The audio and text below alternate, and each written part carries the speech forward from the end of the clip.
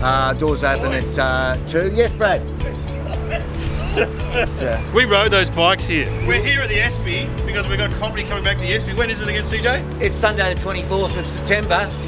What, what a lineup! is you, Right, yes, CJ, Brad Oakes, Bob that- Franklin, you, Chris Wainhouse, Chris Christine Wainhouse, Basil. Christine Basil, all the uh, Wayne. Deakin, Michael Shafar, El- and, Elliot Goblet, and, And- uh, surprise guests. Yeah, surprise guest. You never know what might Basil. happen on the day.